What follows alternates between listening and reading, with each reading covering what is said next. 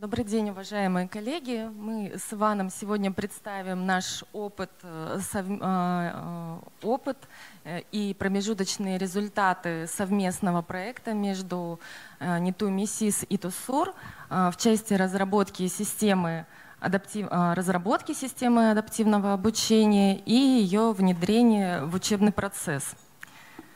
На самом деле эта задача является достаточно сложной, комплексной. Она очень ресурсоемкая. Понятно, что силами отдельной группы преподавателей, а, силами э, отдельного подразделения или даже университета решать ее достаточно сложно. А, эта задача очень многоаспектная. Она включает в себя вопросы разработки программного обеспечения алгоритмов, а, вопросы методологии а, самого адаптивного обучения, вопросы методологии разработки адаптивного контента. То есть э, круг вопросов очень широкий, над которым э, необходимо работать. И э, нам как-то вот так посчастливилось, что мы совместно э, нашли друг друга, заинтересованные лица достаточно, э, э, и с общими такими как бы пониманием этого процесса, его сложности. И как бы уже в течение полугода э, или больше даже мы э, совместно вот эти все вопросы отрабатываем. А, понятно, что кроме вот э, тех э, вопросов, которые я уже перечислила, еще необходимо решать вопросы административные, потому что, в принципе, внедрение адаптивного обучения, оно требует и пересмотра самой образовательной политики организации, потому что оно ну, уже априори предполагает трансформацию образовательного процесса, который э, в организации реализуется. Поэтому э, у нас нас э, и имеется достаточно мощная поддержка со стороны э, руководства университетов э, в точке, с точки зрения идеологической и идейной поддержки. Итак, ну, я не буду сейчас вдаваться в подробности того, что на слайды, перечислять вызовы, тренды и проблемы, которые в настоящее время у нас происходят и приводят нас к каким-то э, совершенно неожиданным открытиям, но все равно хотелось бы сказать, что мы с вами живем в, интересном, в интересное время, время, э, э, так сказать, смартизации, когда у нас мы все процессы у нас становятся умными под действием технологий, с помощью технологий. А, что я имею в виду под умными? То есть мы Э, они позволяют нам, технологии позволяют нам э, э, за кратчайший промежуток достигать каких-то наших целей поставленных. Ну, например, мы теперь с вами не стоим в очередях за билетами и так далее. Мы в течение нескольких секунд, несколькими кликами решаем все свои вопросы. И это, конечно, изменяет нашу жизнь, изменяет нас, изменяет наше мышление и, соответственно, меняется мир вокруг нас. И э, если рассматривать умные процессы в образовании, то прежде всего они охватывают образовательную деятельность. И о чем здесь речь? Какую, как вот умные технологии могут повлиять на образовательную деятельность и сделать ее тоже такой уже э, более эффективной, может быть, или новой. А, здесь мы говорим о том, что технологии позволяют нам перейти от массовизации к индивидуализации. То есть если раньше наше традиционное образование было нацелено, было массовым, нацелена на, э, на э, среднего обучающегося, то э, с помощью технологий мы можем перейти к модели индивидуального репетитора, скажем так. Да? Эта модель всегда считалась самой эффективной в образовании. Она всегда была, ну, в то же время она всегда считалась самой дорогой. И, естественно, мы не могли ее масштабировать, позволить себе реализовать в рамках ну, традиционных учебных заведений. А в данном случае, говоря об адаптивном обучении, мы как раз-таки говорим о переходе к модели индивидуального репетитора. Что мы понимаем под адаптивным обучением? А, мы понимаем э, э, определенную интеллектуальную систему, которая позволяет выстраивать индивидуальные траектории, которые будут при этом изменяться в течение, э, с каждым шагом, э, то есть в течение времени они будут динамически изменяться, подстраиваясь под потребности, особенности, способности обучающегося. То есть это такие системы, которые могут учитывать э, не просто настроение человека, изменяющееся там в процессе обучения и в течение часа, но и более глубокие его психофизиологические особенности. Вот э, таким образом мы понимаем адаптивное обучение, и именно вот о э, разработке такой системы мы э, сейчас и поделимся с вами о нашем опыте. Ну, Иван. Спасибо, Маргарита. Кликер еще можно? А, в рамках нашего совместного с МИСИС проектом Тусур отвечает за программную реализацию платформы и некоторые технические значит, аспекты ее реализации а, концепции того, как мы, значит, понимаем, опять же, адаптивное обучение, сейчас я раскрою. И, пожалуй, а, любую систему адаптивного обучения можно а, представить тремя моделями, которые, собственно, и будут характеризовать ее как адаптивную. Это модель обучающегося, в куда заложены параметры и особенности обучаемого, которые мы отслеживаем на протяжении образовательного процесса. Это модель данных, которая определяет а, формат представления значит, контента, а, структуру его хранения в базах данных. И модель адаптации, которая определяет те самые адаптивные алгоритмы, позволяющие нам реализовывать адаптивное обучение.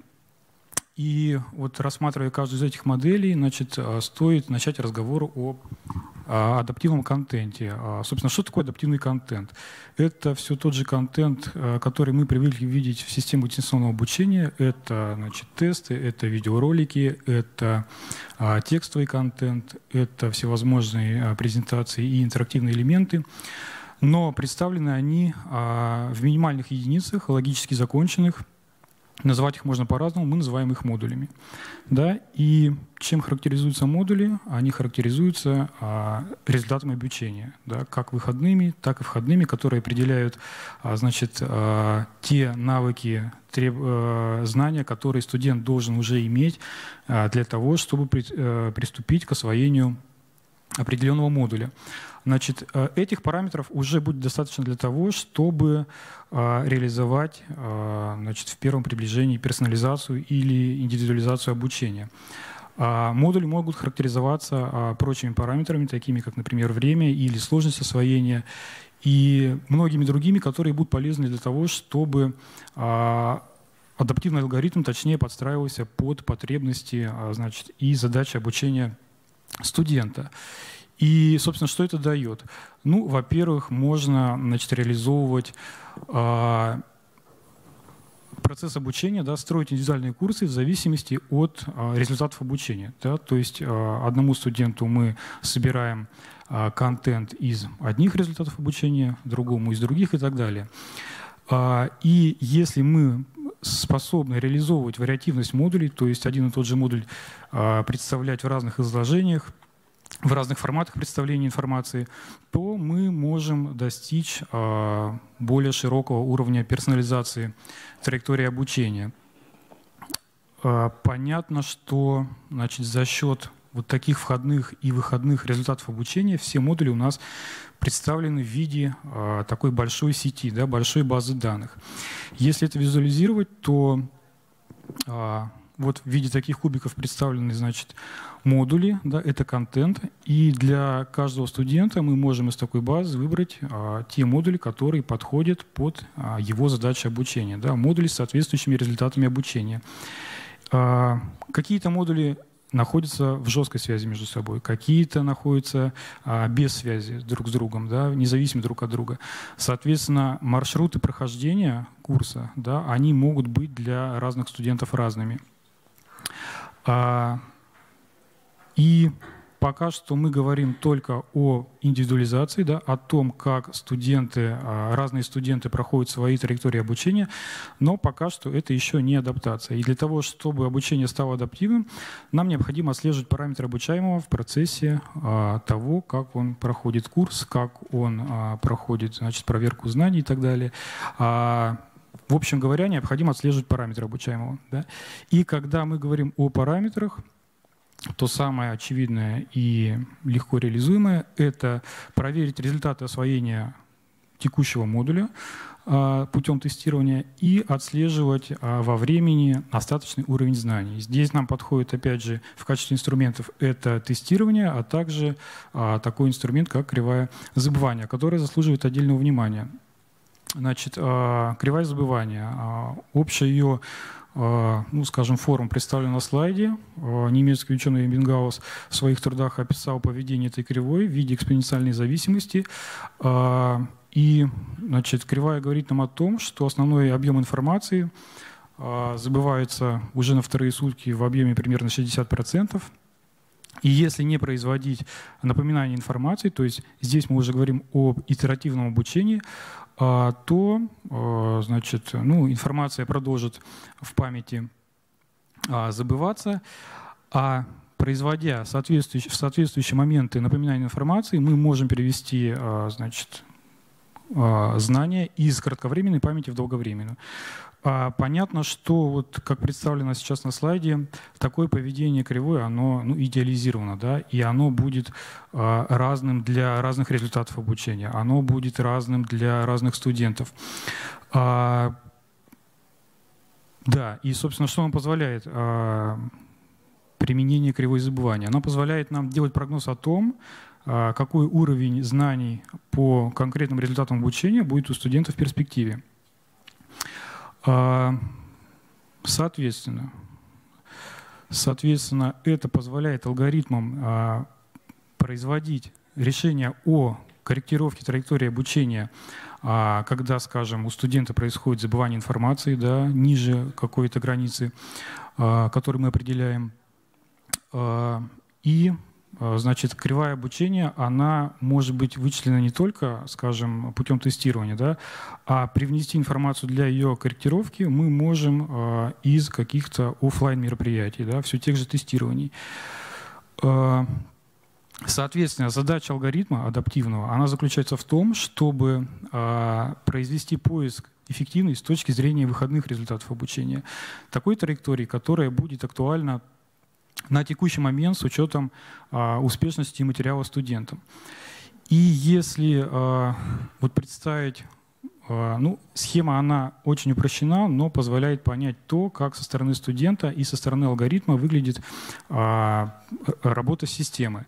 Значит, сверху у нас а, в виде фиолетовых кубиков представлены значит, этапы работа алгоритма, а снизу э, голубым цветом это то, с чем работает студент. Значит, в первый момент происходит вычисление траектории в зависимости от того, какой нам студент пришел, да, с каким бэкграундом, с каким уровнем знаний, с какой задачей обучения. А, и производится относительно этой информации вывод контента.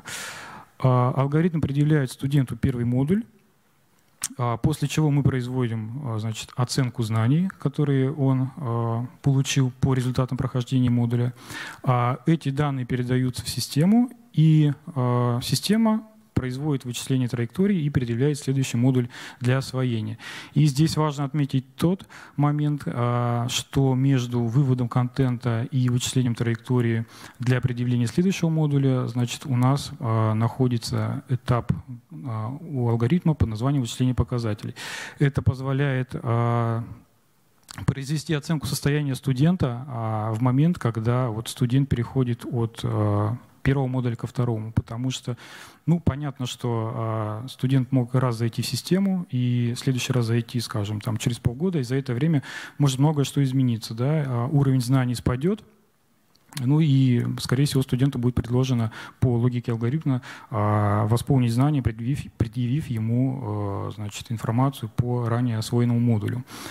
Вот примерно в таком формате сейчас реализована система. А, мы предлагаем многим университетам значит, пройти апробацию а, Э, нашего решения на своих курсах. Поэтому, если кому-то будет интересно, то можно обратиться будет ко мне по электронной почте, которая будет указана на последнем слайде, или написать в приложение, значит, от, ну, которое нам предоставляет Crunch, и связаться со мной. И далее, значит, по методическим аспектам реализации адаптивного курса Маргарита продолжит свой рассказ. Ну, вот на самом деле, да, считается, что очень много э, различных алгоритмов, подходов именно к разработке программного обеспечения, очень много различных э, нюансов, э, в, когда вычисляются именно потребности и особенности обучающихся. То есть вот здесь э, существуют различные решения на рынке, и этим они различаются именно друг от друга. А, с точки зрения методологии, вот когда мы начали этим заниматься, ни в а, иностранных источниках, ни в наших российских каких-то особых конкретных методик, методологий представлено не было. И мы пошли где-то своим путем, ну, основываясь все-таки на анализе информации, которая есть, из которой можно делать а, выводы а, ну, э, значит, мы что понимаем под, под адаптивным контентом? В первую очередь это электронный курс. Электронный курс, который состоит из набора модулей. Модули, причем очень э, по объему достаточно э, микромодули, трудоемкость которых составляет до 15 минут. А, кроме того, а, ключевая особенность вообще адаптивного контента – это ориентация на результаты обучения. Каждый микромодуль ориентирован на конкретный результат. То есть каждый связан и позволяет э, гарантировать, что освоение этого микромодуля, оно, э, во-первых, э, гарантирует достижение этого, этого результата. Кроме того, еще ключевой особенностью является наличие связей между модулями. То есть вот это три аспекта, которые мы держим в памяти, когда начинаем разрабатывать адаптивный контент. А, кроме того, за основу при а, разработке мы взяли а, модель backward design, да, то есть модель обратного дизайна. Она традиционно немножко по-другому выглядит, то есть она начинается у нас 1, 3, 4 как бы э, этапа то, что вот здесь на слайдах помечено. То есть проектируется, сначала разрабатывается система результатов обучения по дисциплине, а дальше э, разрабатывается система оценочных мероприятий, которые гарантируют достижение результатов обучения. И уже на следующем этапе разрабатывается контент э, и учебная деятельность, которые гарантируют уже э, достижение, то есть те ресурсы, которые будут помогать достигать эти результаты и выполнять оценивание. Но уже вот э, на этапе составления презентации у меня появился здесь блок связи между результатами обучения. Может быть, когда-нибудь он уже в следующей итерации исчезнет. Это связано с тем, что мы э, значит, сами нарвались на очень большой затык в какой-то момент, когда мы проектировали, проектировали результаты обучения и вроде считали, что мы еще и связи сразу предусматриваем, и когда в систему загрузили, и система построила нам траекторию, оказалось, что ну, просто это что-то немыслимое. Мы сначала думали, или эта система не так работает, или это еще где-то у кого проблемы. Но в итоге вот выявили тот факт, что при проектировании нужно непосредственно еще методические какие-то набор шагов предусмотреть, именно алгоритм, а, согласно которому вы устанавливаете связи между модулями. А, ну, подробнее, значит, первый этап – мы проектируем а, результаты обучения. Из чего состоит этот этап? Значит, на первом шаге определяются ключевые результаты обучения по дисциплине. Ну вот мы в данном случае говорим, допустим, о трехкредитной дисциплине, значит это от трех до пяти результатов, не больше.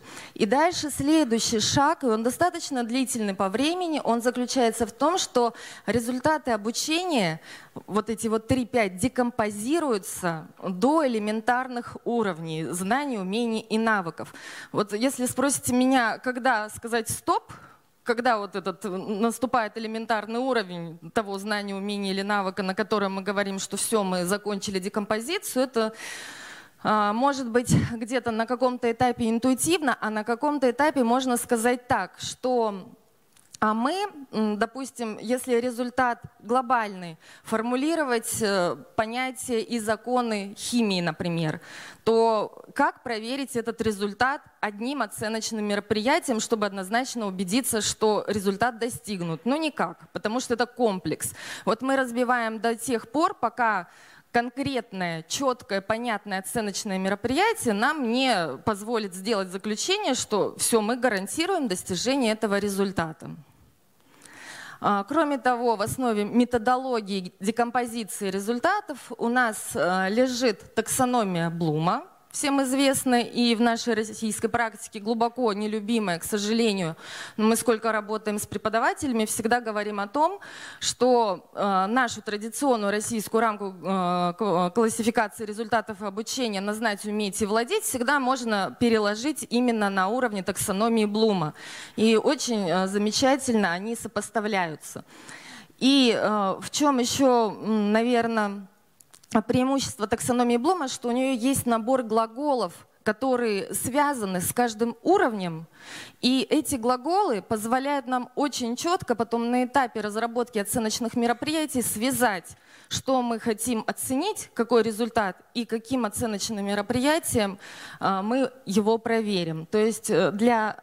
И еще, э, ну, дальше сейчас немножко покажу на примере. И еще у нас э, в основе лежит смарт-формат, который на этапе уже готовых формулировок позволяет нам сделать заключение, что у нас результат сформулирован конкретно, четко, понятно, что результат у нас измеримый, достижимый, что он э, реальный там, по времени и ресурсам и ограниченный. То есть это просто такой набор э, как бы ограничений, э, в рамках которых мы постоянно себя проверяем и э, не уходим как-то в другие направления.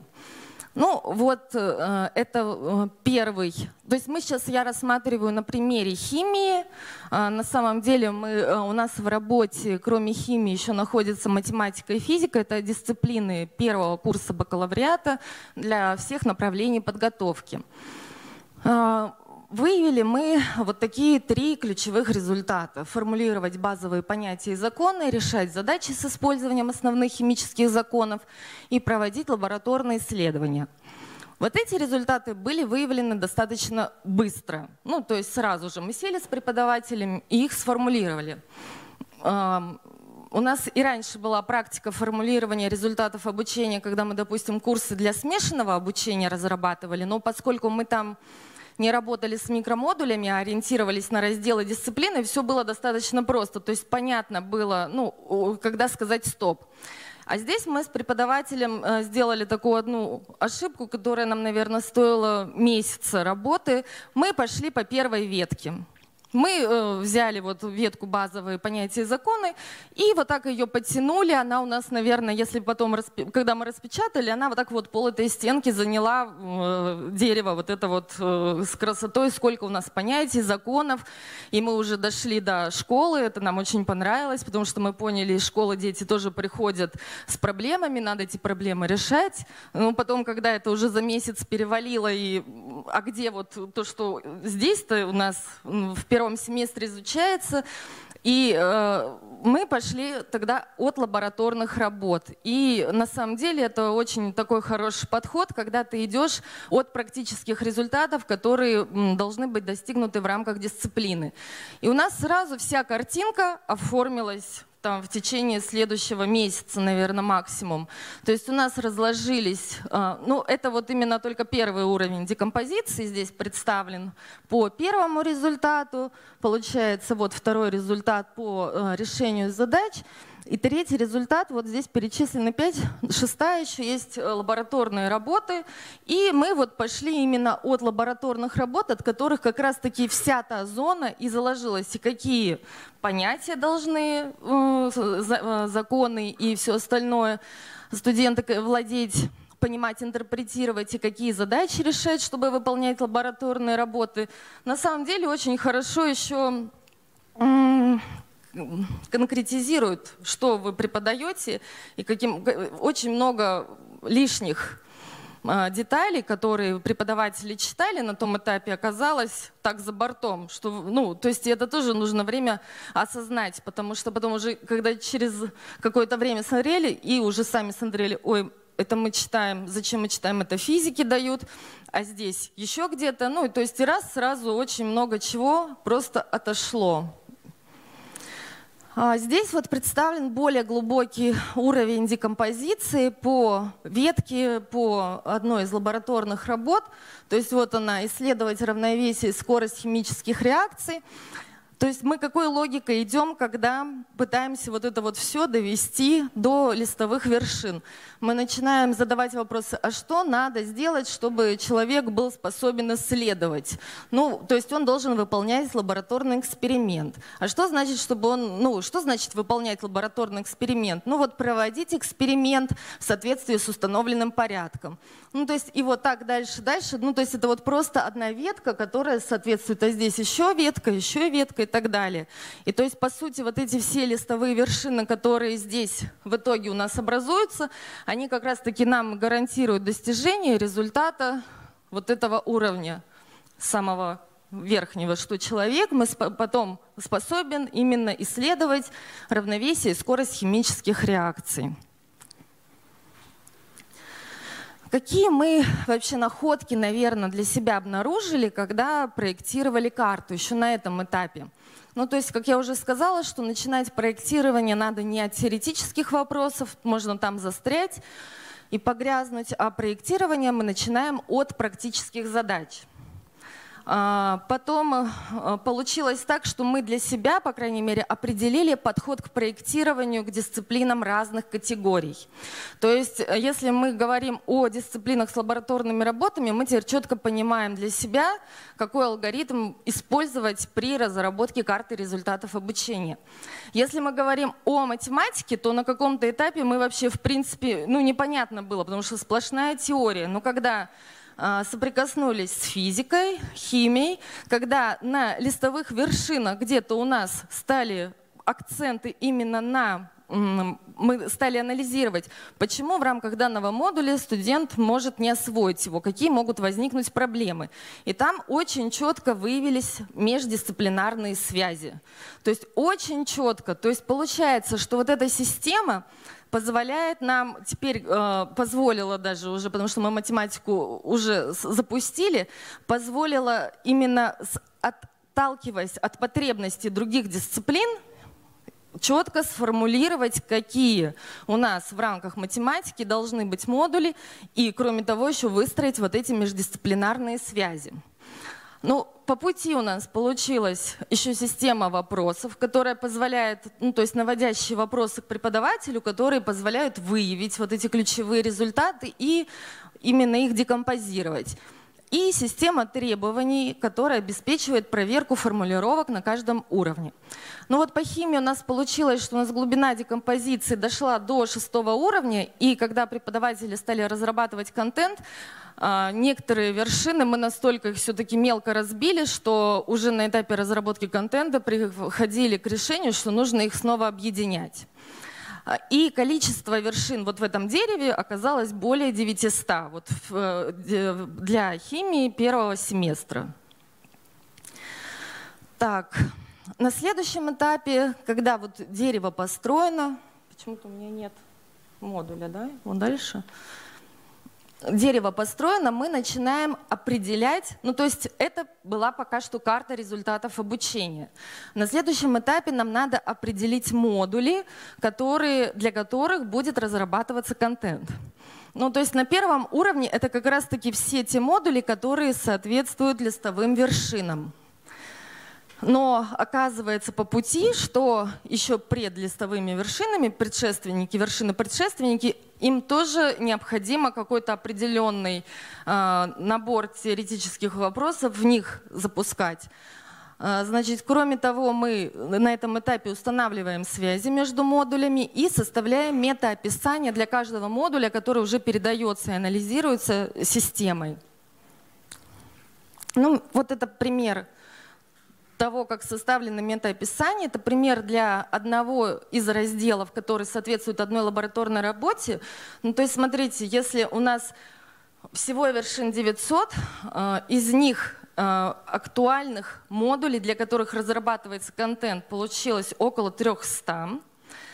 И количество модулей в одном разделе, оно так варьируется от 30 до 40 модулей, для которых нужно разработать вот этот вот фрагмент контента, описать его и реализовать. Из метаописания у нас еще получилось э, такие вот нюансы. Значит, входные результаты обучения — это обязательно ключевой элемент, который, по сути, является... Это, а мы определяем пререквизиты текущего модуля. Это то, на чем основано адаптивное обучение. То есть это те модули, с которыми непосредственно связан текущий модуль по именно результатам обучения, которые нам позволяют на этапе неуспешного выполнения этого модуля студентам судить о том, что анализировать причину и подавать ему тот набор модулей, который соответствует именно тогда э, тому, где у него именно пробелы. Потом мы еще модули для себя разделили, что модуль может быть установочный. Это как раз-таки тот модуль, который предшественник листовой вершины, потому что преподавателю иногда нужно дать вводную информацию студентам, и он тогда не сопровождается, например, тестовыми вопросами. Модуль может быть теоретический, практический. Ну, мы разводим это, чтобы преподавателям было понятно вообще шаблон, как разрабатывать э, фрагмент теории, описывать именно для теоретических модулей, как подавать теорию, которая связана с практикой ориентированными задачами. И у нас уже на этапе разработки сценариев реализации адаптивного обучения получился, что может быть еще и контролирующий модуль.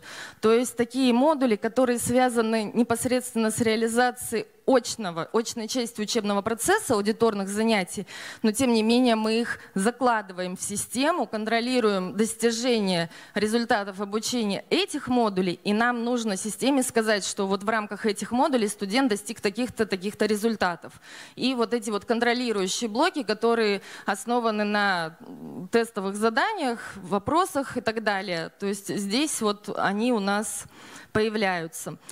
Кроме того, еще может быть у контента предусмотрен уровень модулей, базовый, углубленный, специализированный, что уже позволяет адаптировать контент на ур... Ну. Э, построить адаптацию на уровне контента. То есть, если мы уже, э, то есть вести э, студентов не в рамках одной базовой траектории, а уже увеличивать уровень, да, повышать, если студент успевает и вовремя справляется со всем. Но Понятно, что задача вот эта вот это еще более глубокая, то есть э, мы пока в разработке углубленный специализированный уровень не учитываем. Ну и есть у модуля характеристика, она больше привязана уже к реализации адаптивного алгоритма, называется значимость модуля. Ну вот, как выглядит фрагмент карты для одной лабораторной работы, ну вот завязанной, да, то есть вот она вот система связи, это мы ее уже дорисовали, когда построили первую базовую траекторию, в которой, э, и когда поняли, что у нас вообще она прерывистая, когда у нас э, почему-то модуль, сначала идет последний модуль из лабораторной, например, которые студенты должны быть самым последним в траектории, а потом где-то появляется теория. Мы тогда сели, составили для себя алгоритм, как вообще эти связи между модулями устанавливать. И вот так на карте вот это вот картина висит. Если распечатать всю карту дисциплины, что мы сделали, она вот так вот занимает всю стенку в одном кабинете. Что мы потом делаем? Мы потом берем уже для себя, анализируем, когда, ну это просто уже наш инструмент работы, мы определяем уже четко, какие модули есть, какие, с какими они результатами связаны. А, дальше выводим там наличие контента, форматы контента и так далее.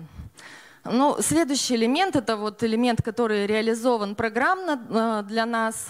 Э, это элемент проверки составления уже э, автомати... ну, автоматизированного решения для составления траекторий базовой по крайней мере, понятно, что вот эта траектория у нас складывается, и вот эта вот базовая траектория, вот она здесь, таким образом на модулях отмечен порядок ее Э, модулей, которые в этой траектории заложены. Вот так вот это выглядит в программе, которая рисует эту траекторию нам по вот той карте, которую фрагменту я показывала. А очень э, большая задача — это проектирование сценариев реализации учебного процесса. Потому что когда мы стали с коллегами работать, у них на самом деле программа была заточена совершенно на другой сценарий, чем мы для себя вообще предполагали, как оно может быть. Им пришлось вот здесь немного перерабатывать всю идею. То есть мы изначально предполагали, что мы будем реализовывать дисциплину в формате смешанного обучения. Соответственно, предполагает, что у нас есть предаудиторная работа, аудиторная работа, поstaудиторная. И, соответственно, порядок вообще подачи модулей он очень сильно зависит от того формата и сценария, который вы выбираете. А, кроме того, в принципе, две разные идеи, что траектория, которую студент получает на входе, она может формироваться э, разными способами. Может э, студент получать на входе, все студенты получать базовую траекторию общую, и потом уже в ходе ее освоения э, по разным, там, да, в соответствии с разными параметрами модули изменяются, траектория изменяется. Либо студент сначала проходит диагностику, на основании этой диагностики выстраивается его персональная траектория. Ну, то есть вот мы пошли именно от этого решения в итоге. Ну, здесь вот приведен пример, как мы уже попытались именно сценарий. Э, на основании вот этого сценария уже разрабатывается дальше у нас программное решение, как мы распределили э, виды деятельности между аудиторной, и пост-аудиторной работой. Ну и здесь получается просто, чтобы совместить, показать, как на карте, которая исходная была, вот эта часть соответствующей теории, то есть вот она у нас в предаудиторную работу уходят вот эти вот все э, вершинки, потом часть по базовым расчетам, тоже предаудиторная работа, листья, потом получается, в предаудиторную работу уходит еще подготовка и допуск к лабораторной работе, соответственно. При этом вот эти две э, веточки, э, вершинки, которые здесь э, в лаборатории, они четко связаны с тем набором результатов обучения, которые должны быть в рамках теории и практики достигнуты. И студент сначала на входе получает набор как раз-таки контролирующих вопросов по теории и практике, и это является тоже одним, одной из, одним из элементов допуска к выполнению аудиторной лабораторной работы. И уже непосредственно вот эта часть выполняется в аудитории, но есть матрица оценивания с критериями, которые потом, э, по которым результаты оцениваются, это параметры вносятся в систему, и, соответственно, если там где-то вот здесь что-то не сделано, то видите, там вот связи идут. У этих модулей есть пререквизиты, и студенту в траекторию добавляется опять-таки же что-то, где у него э, выявлен пробел. И потом эта часть поstaудиторная, состоящая из обработки результатов. То есть здесь она уже тоже предлагается подход, который помогает студенту, как говорят, что лучший способ обучения, когда мы ему не теорию даем, а даем набор э, задач, вопросов каких-то, с помощью которых он как раз-таки мы ему позволяем э, реализовать э, вот эту вот поstaудиторную ну, обработку результатов. Ну и последний, по-моему, да, слайд про разработку контента. Это вообще боль наша самая такая, в чем заключается. На самом деле, смотрите, вот один модуль, по одному модулю, допустим, у нас есть блок вопросов для самопроверки, которые не оцениваются, количество попыток не ограничено, там 3-5 вопросов. Вопросы для контроля, которые уже оцениваются, результаты их обуч... А, выполнения. То есть, соответственно, банк вопросов должен составлять, то есть на один вопрос около 10 вариантов таких же а, альтернативных вопросов должно быть предусмотрено в базе. Банк вопросов при этом для одного модуля, их 300, должен составлять от 60 до 100 единиц тестовых заданий.